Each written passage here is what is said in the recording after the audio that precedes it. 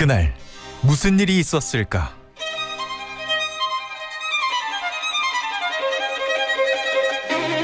법의 눈으로 현장을 파헤치고 그림 한 장으로 진실을 들여다본다. 사건 살롱.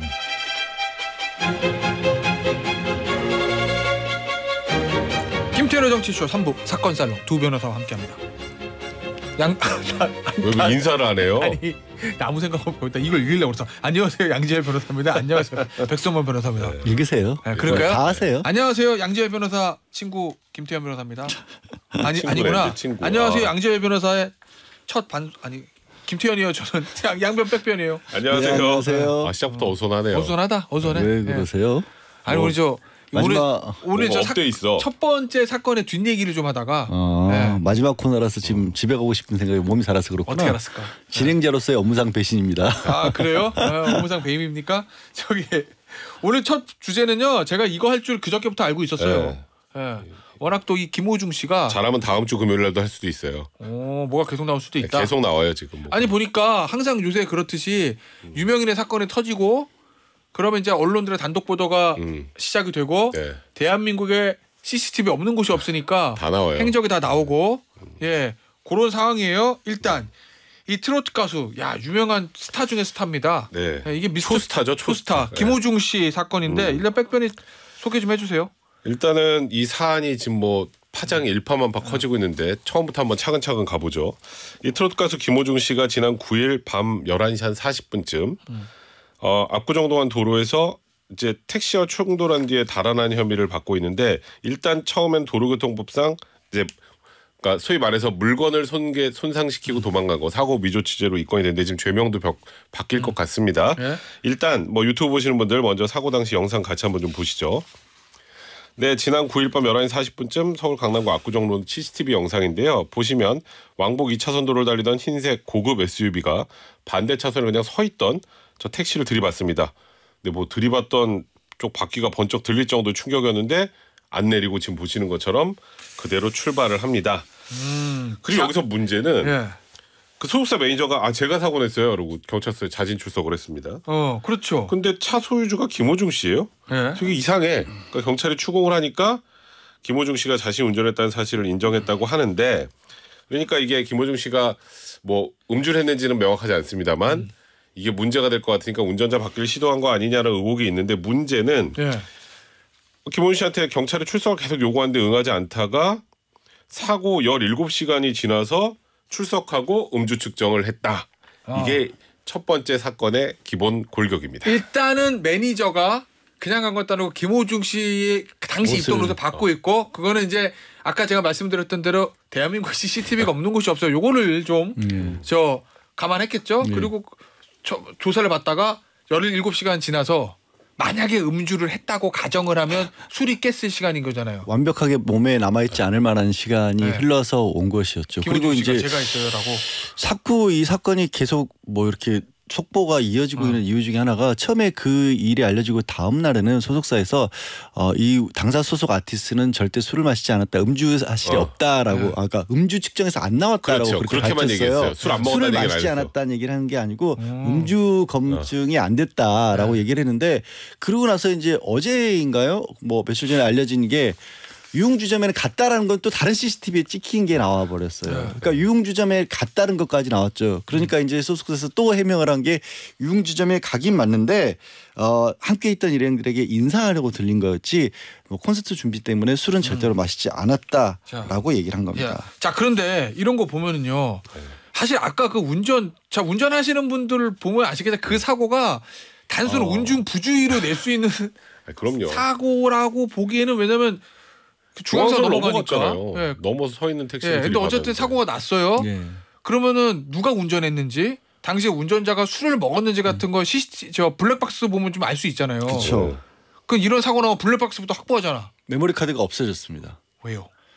다른 매니저가 지금 자수한 매니저 말고 네. 다른 매니저가 소속사 측에서는 그 본인의 임의적인 판단에 의해서 이거를 파괴 파손했다라고 그렇게 지금 주장하고 있어요. 어 아티스트를 위해서 우리가 뭐 아니 근데- 뭐 감출 게 있어야 파손을 하죠. 근데 뭘 감출 것도 없는데 가서 그거부터 없애요. 자 일단 알아서 알겠어요. 네. 이거 백변 네. 만약에 지금 나와 있는 게 사실이라고 하면 음, 음. 이 대표가 얼마 전 어저께 뭐 그거 뭐 보도자 낸것 같은데 내가 다 이게 지휘해서 네. 이렇게 했다. 사실 지금 이광득 대표 이제 그 소속사 대표하고 김호중 씨하고 인척 관계입니다. 어 그래요. 네, 여기는 다 그래요. 매니저도 지금 또 인척 관계고 다 어, 그렇습니다. 그럼 김호중 씨 1인 기획사인가요? 거의 사실상 그렇다고 봐야겠죠. 근데 일단은 지금 이광득 대표는 이렇게 얘기를 해요. 자기도 술을 자기 술을 마시고 있었고 그 지금 이 여기에 등장하는 매니저들도 딴 데서 각각 술을 먹고 있었는데 김호중 씨 사고 냈다는 얘기를 듣고 자기가 깜짝 놀라서 매니저들한테 전화를 하고 그 한 명 출두한 애한테 옷도 바꿔 입고 가라고 자기가 얘기하고 다른 한 명한테 차에 가보라고 얘기했대. 근데 자기가 그 아티스트를 보호하기 위해서 너무 어리석은 행동을 했다. 그러니까 이 얘기를 들어보면 김호중은 아무 잘못 없고 네. 내가 다 한 거예요. 네. 지금 이렇게 지금 진술을 하고 있는 그런 상황입니다. 그러면 이 사람은 말대로 하면 이 사람 죄명이 뭐예요? 범인 도피 교사죄가 되는 거죠. 이 매니저 같은 경우도 이 사실 음주운전 아시다시피 음주운전 하고 나서 옆자리에 있는 사람 내지는 갑- 그 자리를 피한 다음에 집에 있는 다른 분들에게 부탁을 해서 나 지금 뭐 두 번째니까 얘를 술 많이 마셨으니까 네. 좀 당신이 운전한 걸로 해달라라는 경우들이 왕왕 있잖아요. 특히 이제 뭐 가- 부부 사이에서도 그런 일들이 가끔 사건 사고 뉴스에 나오는데 그렇게 될 경우에 그걸 해준 사람은 내가 대신 했다라고 한 사람은 범인 도피죄가 되는 거고 네. 그렇게 부탁한 사람은 범인 도피 교사죄가 되는 거거든요. 3년 이하 징역까지 가능한 범죄입니다. 자 그런데 네, 백변 네. 요거 하나 보시, 보시자고요. 김호중 씨가 차 사고 내고 음. 어디로 갔대요? 그러니까 지금 김호중 씨, 일단 아까 본 화면에 운전한 건 김호중 김호중 씨. 맞아요. 그럼 네. 그거는 이제 뭐 소속사도 그렇고 네. 전혀 부인하지 않는데 사고를 내고 한참 한 200m 정도 게- 아까 차 가잖아요, 그냥 네, 네, 계속 네. 한 200m 정도 떨어진 곳에 가서 전화라는 모습이 포착이 됐어요. 예. 근데 일단 소속사에서는 아 주- 사고를 내고. 사고를 내고 당황해서 음. 공황 장애가 있어서 그러는데 뭐 공황 장애 있어 보이지 않죠? 좀 굉장히 평온하게 전화를 하면서 걷는 모습까지 나오는데 문제는 그러니까 소속 사정은 이거잖아요. 사고 났는데 너무 당황하고 나 유명 가수인데 네. 어. 콘서트도 앞두고 있고 순간 공황 상태 에 와서 네. 어쩔 할 줄 모르고 그냥 가버렸다. 그래서 매니저한테 전화를 했다는 거예요, 네. 김원중 씨가. 근데 이제 그러고 보통 어디로 가나요? 뭐 집으로 가든 집으로 가지. 뭐. 근데 또 구리 쪽에 있는 호텔로 갔어요. 매니저랑 같이. 그러니까 혼자. 이게 아니 혼자요. 혼자? 혼자. 예, 그럼 이거는 아 혼자 갔어요? 우리가 보통 네. 경찰에 출석하라고 하다가 안 나오면 보통 집으로 찾아가잖아요. 네. 호텔에 가 있으면 잘 모르잖아. 처음엔 이거 우리가 CCTV 좀다 보니까 알지. 그러면 어떻게든 경찰을 최대한 긴 시간 동안 피하기 위해 제3의 장소로 이동한 것이 아닌가 라고 예. 충분히 의심을 해볼 만한 거죠. 어, 그럼 이 전화는 누구랑 했는지 모르죠. 이것도 이제 매니저랑 아 했을- 매니저랑 했다 그랬어요. 아 그래요? 네, 사고 난 사실을 알렸다. 어. 아, 그렇게 이제 첫날 보도 자료에는 그렇게 나왔는데 예. 지금 막 헷갈리는 게 소속사 대표가 자기가 또 매니저한테 지시했다고 하니까 예. 일단 뭐 그 내용 같은 건 통화 내역 같은 걸 정확하게 뽑아보면 알겠죠. 그러면 이제 구리 쪽에 있는 호텔로 이동해서 하루 잔 것도 혹시 경찰이 네. 연락하는 걸좀 피하기 위한 게 아닐까라고 추정한다는 거죠. 근데 하여튼 이거 좀 이상한 거가 음. 아 이거 요거는 지금 아예 다음에 나오긴 나오는 것 같은데. 자, 음주요? 예. 예. 예. 그러니까 김호중 씨가 그럼 이게 운전한 거 맞는데 음주운전이라는 음주운전이라는 거예요? 아니면 단순 부주의라는 거예요? 지금은 단순 부주의로 계속해서 주장을 하는데 아까 네. 이제 처음에 제가 유흥주점에 들른 건 맞다라고 네. 소속사 측에서 얘기를 했고 예. 그러니까 술잔을 든 거는 그러니까 입술에는 가져다 댔지만 네. 그 자리에 함께 있었기 때문에 건배만 하고 마시진 않았다라고 지금 얘기를 하고 있거든요. 건배는 하고 술은 마시지 네. 않았다. 그러니까 뭐 우리도 뭐 우리도 그- 뭐 술, 그런 거 김태민은 술 안 좋아하는 그런 경우 아, 저 있잖아요. 많이 하죠, 그거. 많이 하잖아요. 김태 김태민 변호사는 실제로 많이 해요. 우리가 네. 그거 다 알아요. 예. 그렇게 안 해요. 그냥 마셔. 저는 마시죠. 아, 그 아까운 아까운 술을 왜 건배만 하고 안 마셔요. 근데 문제는 이것도 아까 김태민 변호사 얘기대로 CCTV가 너무 많아요. 있죠. 유흥주점 앞에서 예. 볼까요? CCTV에 CCTV? 찍힌 게 있습니다. 오. 지금 나가는 CCTV는 서울 강남의 한 유흥주점 앞에 남성 여럿이 가게 밖을 나서고 있죠.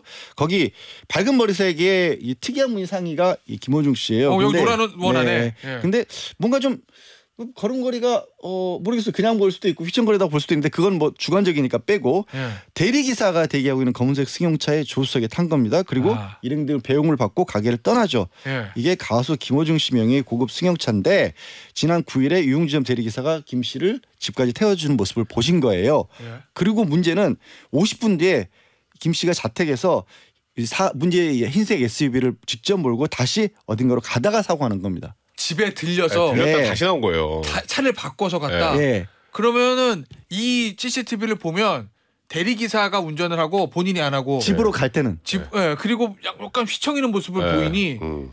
술을 마셨을 가능성이 높다고 경찰은 보는 거고. 예. 그렇게 일단 볼 수밖에 없는 거죠. 아직 안 그러면 대리 기사를 쓸 근데 이제 김호중 씨 어. 측에서 뭐라 그러냐? 예. 이제 가끔 이런 분들도 있긴 있어요. 뭐요? 뭐 진짜 뭐 돈을 많으신 분들은 가끔 이렇게도 하던데 네. 술은 안 먹었는데 피곤해서. 어. 예. 아, 그래서 내 대리 술을 안 먹었는데 불렀어? 아 운전하기도 피곤한데 해서 그래서 저기 서비스 차원에서 제공하는 대리기사 서비스를 이용한 거고 예. 어. 그래서 오히려 음주한 사실이 없음을 다시 한번 밝히고 휘청이다 등 주관적 표현을 사용한 예. 이 방송사에 예. 유감을 표한다 이렇게까지 제가 입장을 그래서 해서 얘기하다가 중간에 그랬잖아요.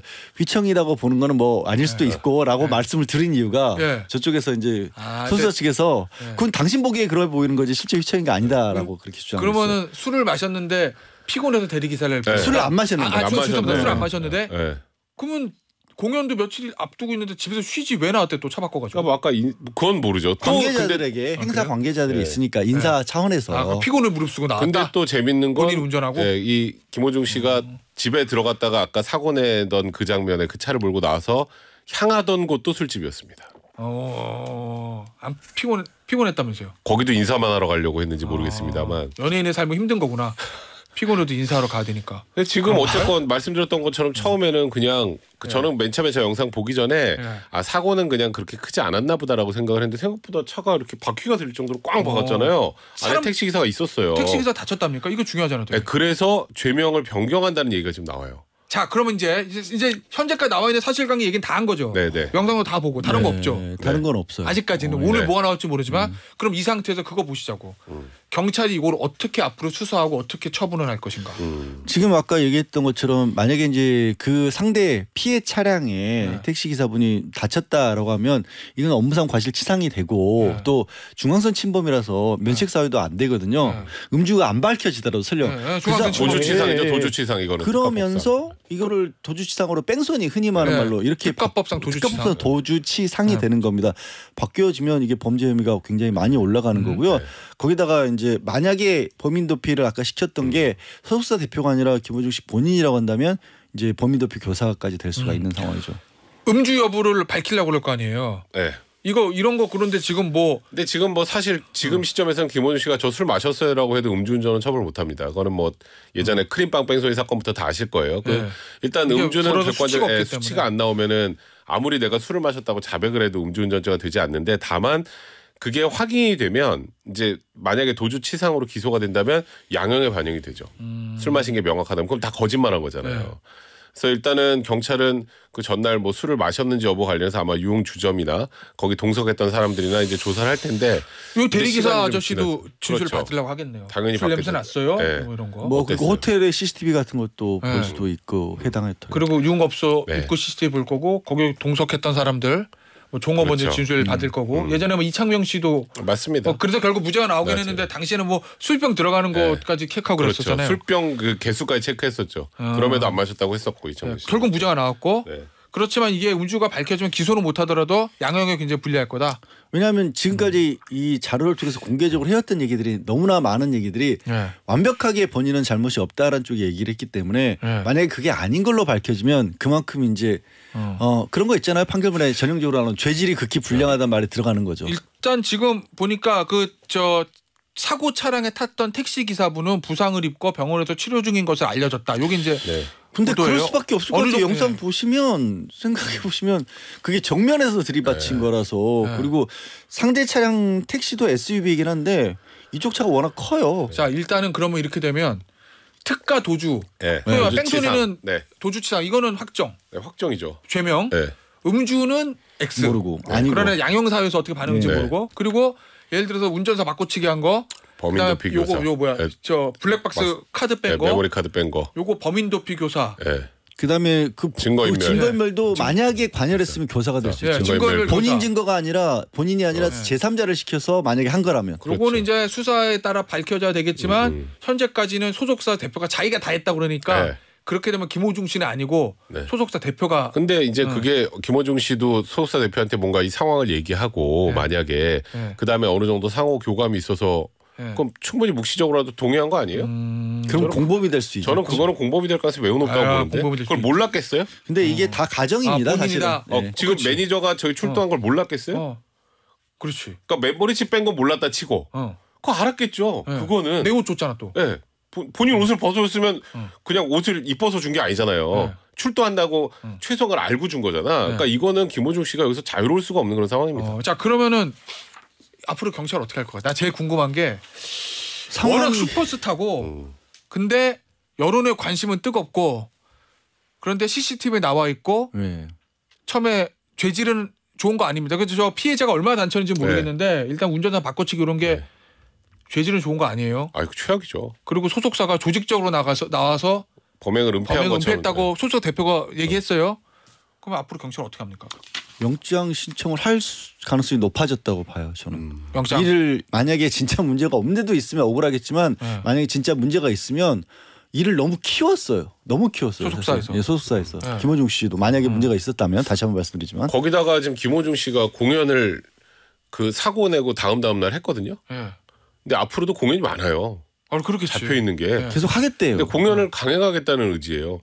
심지어 어떤 KBS와 같이 하는 굉장히 큰 게 하나 있어요. 음. 그거는 해외에서 뭐 소프라노 아이다, 뭐 카리플라나, 라리사, 마르티네스 이런 분들까지 와서 뉴욕 필, 음. 네덜란드 로열 콘세르트 헤바 오케스트라, 뭐 해외악단 베를린 필 다 날라와서 KBS 교향악단과 공연을 하는데 음.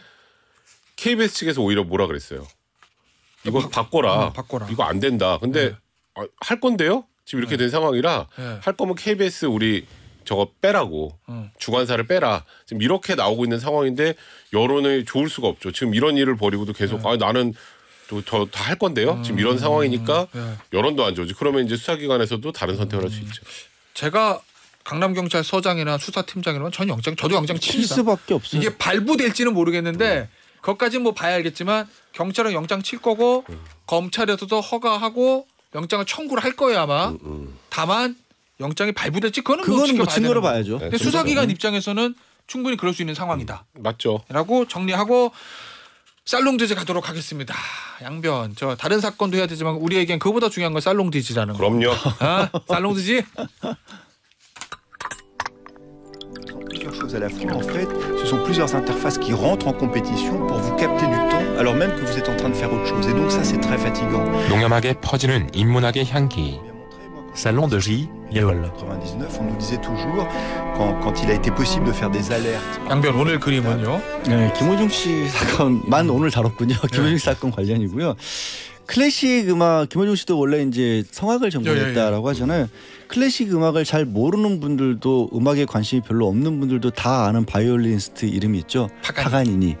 워낙 세계적으로 유명한. 근데요, 파가니니는 사실 18세기, 아 19세기에 사망을 했기 때문에 이 사람의 음악을 들어본 사람도 지금은 남아 있지 않고 본 적도 없습니다. 녹음된 것도 없어요. 없어요? 그 나한 번도 못 들어봤어 그러면? 또 눈을 땡그랗게 뜨고 그랬어요.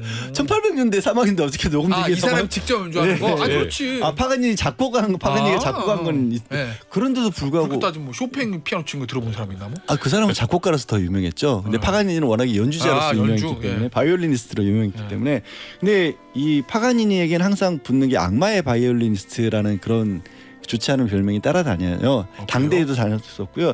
왜 그러냐면 이 파가니니 지금 그림이 그래서 나온 그림인데요. 이 그림 자체는 에드워드 호쿤이라고 폴란드의 화가가 그린 그림이에요. 20세기 들어서 그린 그림이고 뭔가 침실에 한 사내 창백해 보이는 한 사내가 누워 있고요.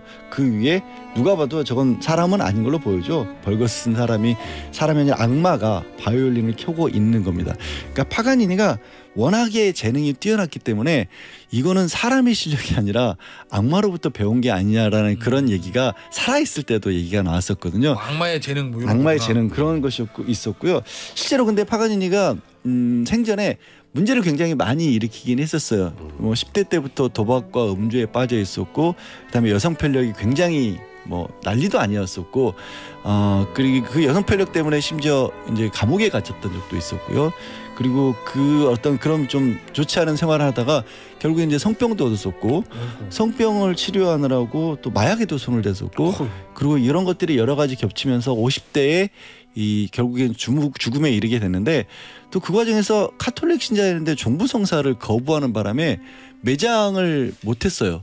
그래서 이 땅에 묻히기까지 30년이 넘게 걸렸던 그런 그 그런 어떤 기구하다면 기구하고 그런 사연도 있었는데 그럼에도 불구하고 제가 말씀드린 것처럼 누구도 지금은 들어본 적도 없고 들을 수도 없는 사람이고 이 그림의 화가조차도 들은 적이 없었던 거죠. 그런데 이 증언만으로도 얼마나 어, 많은 이 얘기들이 있었으면 얼마나 뛰어난 연주가였길래 지금도 우리가 이름을 알고 있을까라는 걸 생각해 보면요. 결국 이 파가니니가 보여줬던 거는 음악의 본질에 가장 충실했던 거거든요. 이게 굉장히 안 좋은 소문이 있었는데도 불구하고 파가니니는 오히려 이거를 그냥 지금으로 치면 노이즈 마케팅처럼 그냥 떳떳하게 공개를 했었어요. 나 그런 사람이야. 하지만 누구도 거기에 대해서 이의를 제기 못했던 게 어렸을 때 거의 아동학대에 가까울 만큼 매맞아가면서 아버지한테 배웠었고 그 배웠던 걸 또 천재성까지 더해지면서 성인이 됐어도 그 도박하고 술 마시고 음주하는 그 여자 밝히는 그런 과정에서도 음악에는 정말 충실했거든요. 그게 오늘까지도 파간지를 역사적으로 남게 만든 아티스트로 기억하게 만든 건데 모르겠습니다. 김호중 씨가 보여주고 있는 게 어쩌면 정말 억울한 상황을 겪고 있을지도 모르겠지만 지금의 김호중의 모습은 그런 선배 아티스트의 모습과는 좀 많이 달라 보여서 아, 본질을 오히려 찾았으면 좋겠다는 생각에서 가- 찾아온 그 그림입니다. 알겠습니다. 아, 아, 잘 좋아요. 들었어요. 네. 4015님 금요일이 좋은 이유는 치맥이 아니고 살롱드지. 해피한님 금요일 낭만의 시간 이라고 문자를 주셨어요. 오늘 여기서 마무리할게요. 양변 백변이었어요. 감사합니다. 네, 감사합니다. 고맙습니다.